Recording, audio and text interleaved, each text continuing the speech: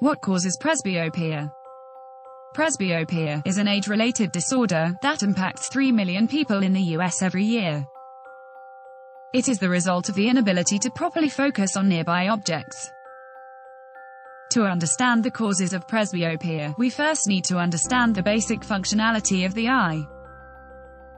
The ability to see light properly involves the unadulterated passage through the cornea and onward through the eye's natural lens and focusing exactly onto the retina.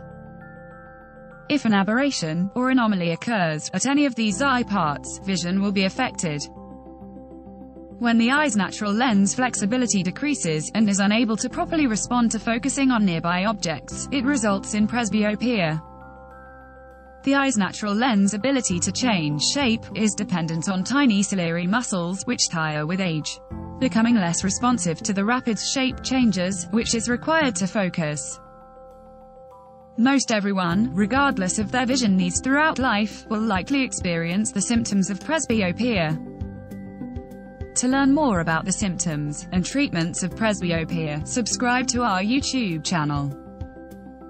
Thank you for watching.